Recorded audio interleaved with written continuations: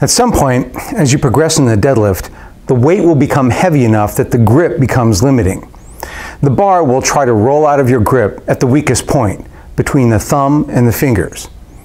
At that point, you have a couple of options to keep your grip on the bar so you can increase the weight you're lifting. The classic option has always been the mixed grip. The mixed grip has one hand prone and one hand supine, which keeps the bar steady because, well, it can't roll in two directions at once. The mixed grip is fine for many people, but there are problems with it. There is a slightly increased risk of biceps tendon rupture with this grip, and it introduces a component of rotational asymmetry around the shoulder joint, which is an especially big deal for folks with a wide carrying angle at the elbow. The other option is the hook grip, in which the middle finger is held over the thumbnail, keeping the bar secure with friction. This is an excellent choice, but it can be uncomfortable, especially at first. I recommend the hook grip more and more, and I've got a few tips to help you as you begin to train with the hook.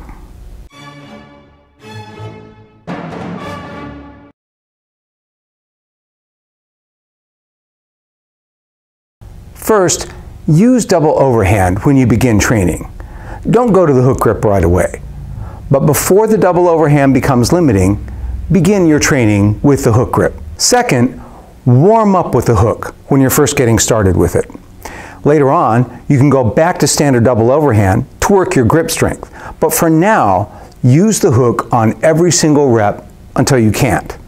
Then go to straps.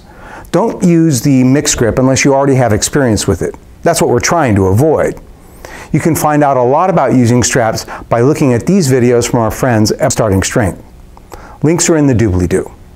Number three, track hook grip PRs. Mine is about 375 and it hurts, but it used to hurt at 315. I'm looking for a 385 hook and I'll get it soon. When it's heavier, I go to straps. Track PR hooks for singles and for reps, where they'll be lower. Go as heavy as you can with the hook, then go to straps.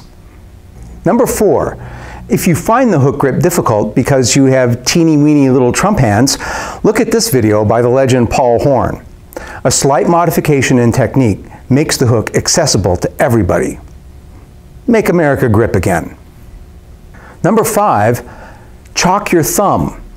The thumb and the bar slide against each other a little bit during the hook grip. It's unavoidable, and this will abrade the thumb. The chalk will help hold the bar steadier and serve as a bit of a cushion, making the hook grip a whole lot more comfortable.